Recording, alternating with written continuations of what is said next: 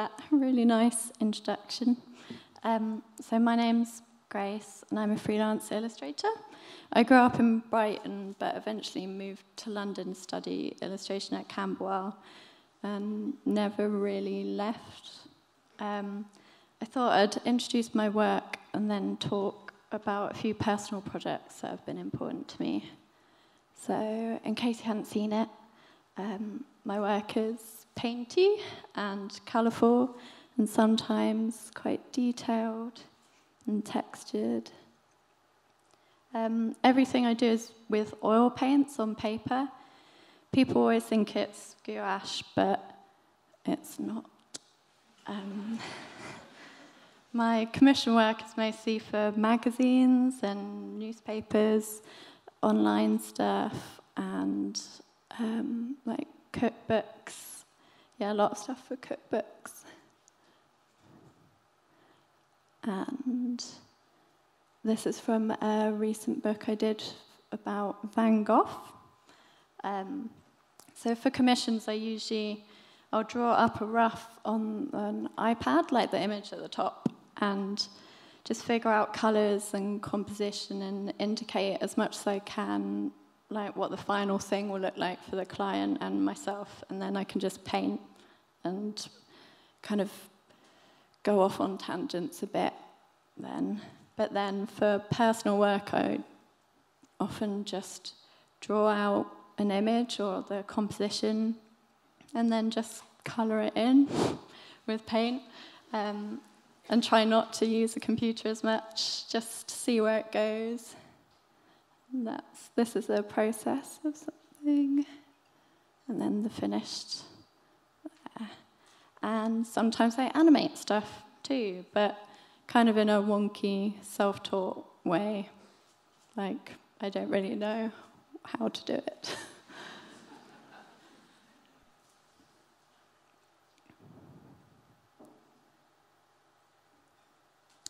so, ooh, I forgot I did all those transitions.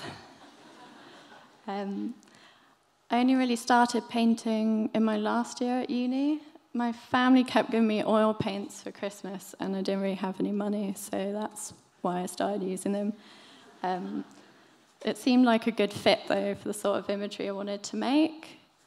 Um, paints took away a bit of control over the image because I can be a bit of a perfectionist sometimes. So it's like if you make a mistake, you just kind of have to go with it. And sometimes the mistakes are better than what you planned anyway. Um, my tutor at the time actually told me to stop painting, that I wasn't really working. Um, maybe you agree with her. um, but uh, I think I just had a feeling like I wasn't there at that time, but I, if I kept like practicing at it, then maybe eventually like the images in my head will match up to what I'm painting. And after graduating, I really needed time to just figure that out, and it felt urgent to go out and like promote my work and tell people about it and get jobs, but I needed to just get to grips with painting and make really bad work and just get better.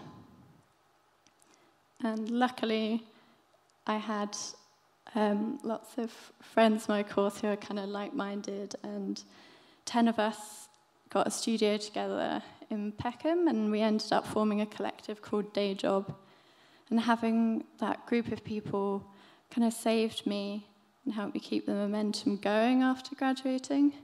Everyone was in the same boat and we could kind of help each other.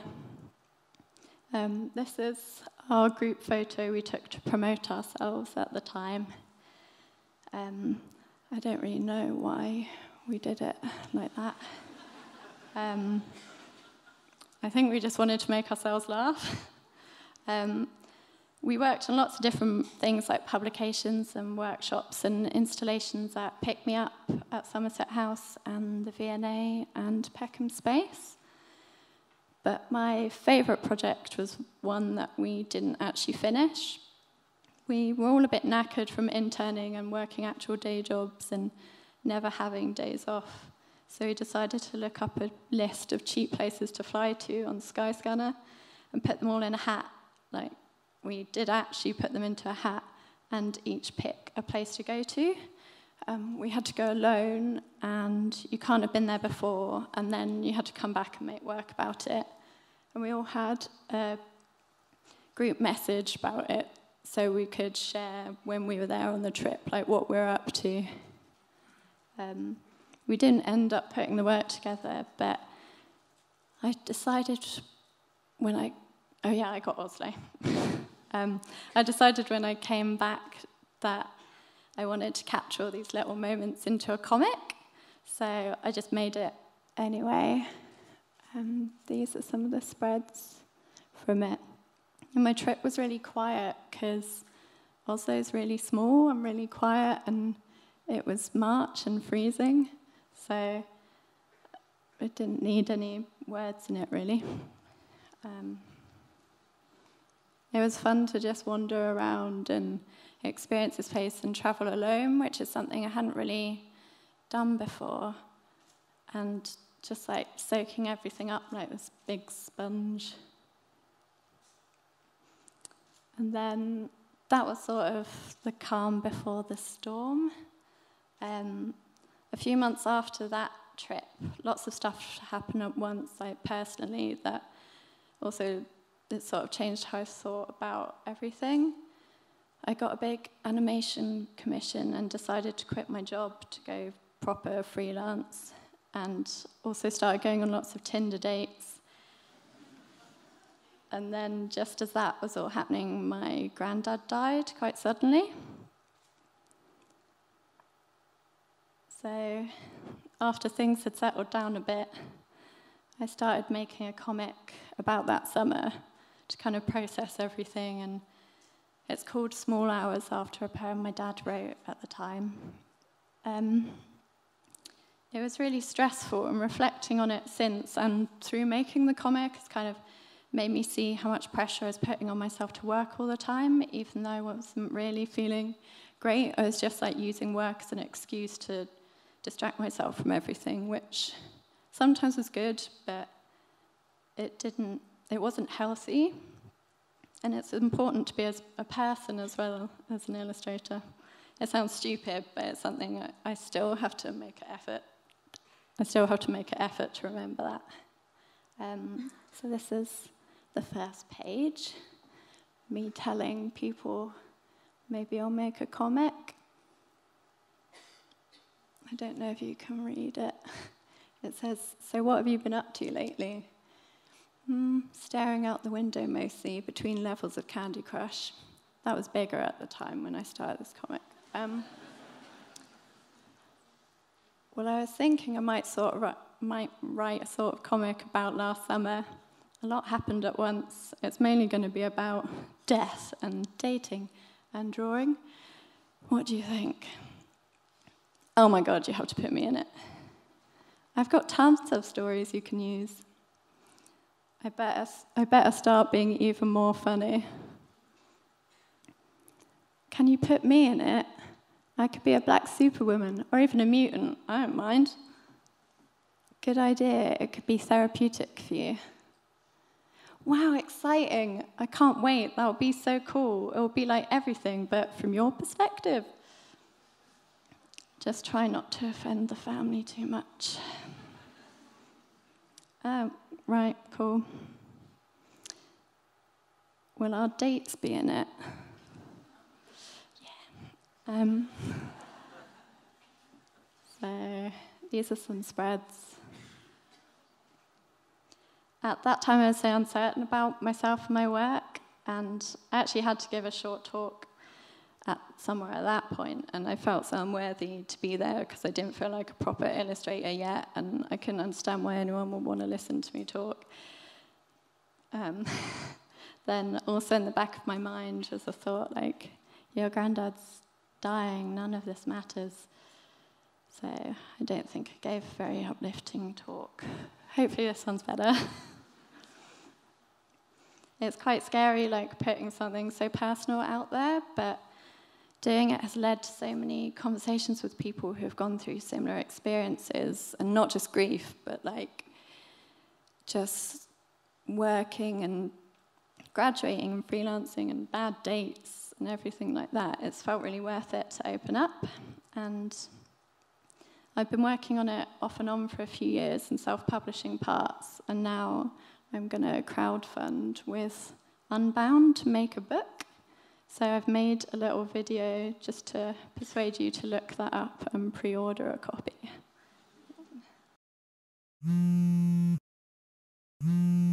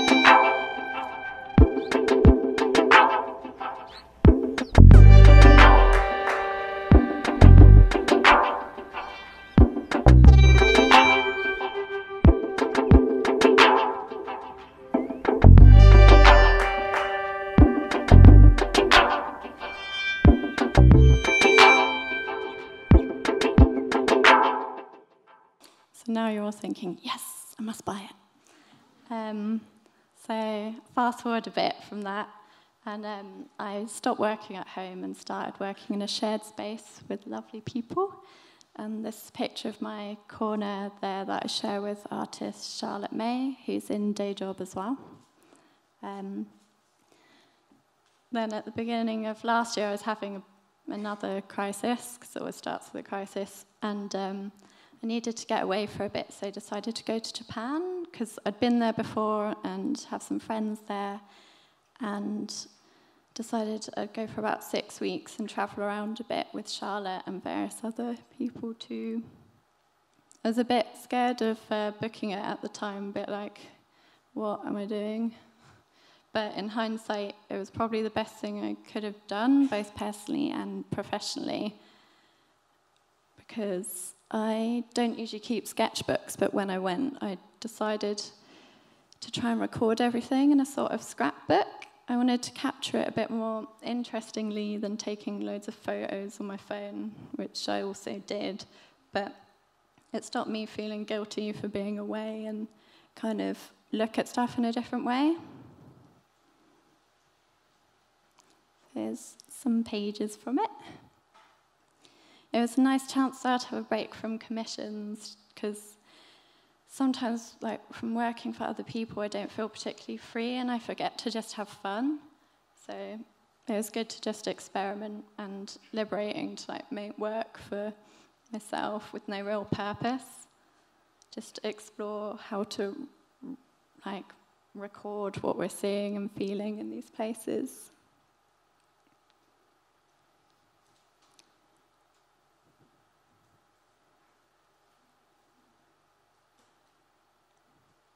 Yep, here's some pics. Um, it was challenging to try and oil paint in all these places. Um, sometimes I'd run out of white spirit, which I used to thin the paints, and I'd have to ask like confused hostel people if I could borrow some just like cooking oil, which turns out turns all your paintings yellow very quickly. But um, yeah, they're really greasy now. But um, maybe yeah, maybe don't do that.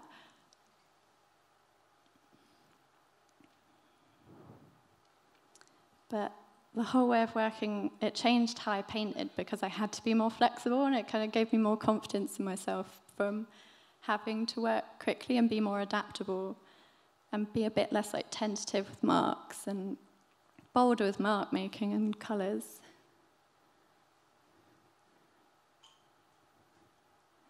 Um, and then when I came back, I carried on working from photos and just painting some of the memories I, I felt compelled to record. So I'm not really into super realistic paintings, and sometimes I worry my style can get like quite easily slide into that. So a lot of that effort of making stuff is sometimes in the withholding of details and trying to stop myself before it gets too exact. I tried to be guided more by the atmosphere or the feeling.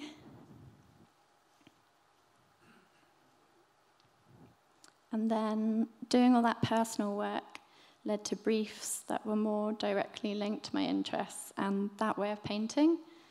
Like these big prints I did for Magma, who'd seen my sketches.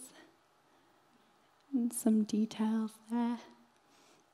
These are a lot more detailed because they're a lot bigger as well, but I was still trying to like hold back a bit. And some of the details I didn't even see when I was there or when I just glanced at the photo, but then kind of blowing up those images, I noticed like this weird little drummer man and other signs and colours and shapes. And some illustrations for a book about forest bathing.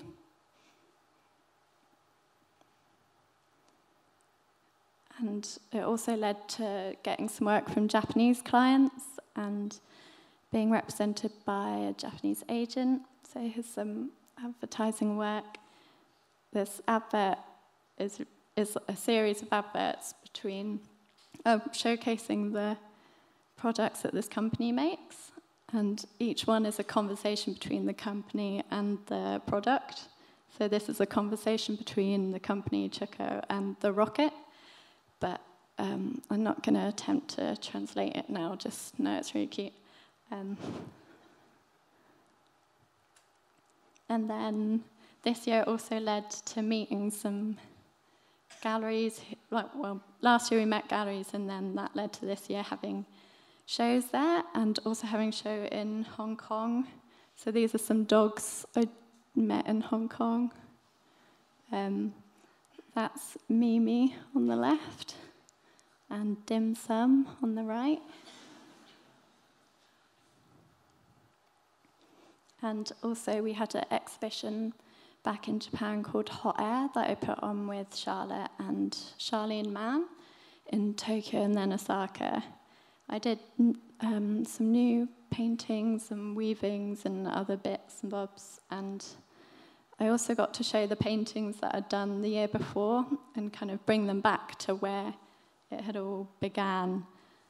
And it felt really good, like they'd gone full circle, and just to talk about them with people who had their own experience of the, experiences of those places or who had travelled there or grown up there, and it was super rewarding. Uh, and that's it. So, thank you.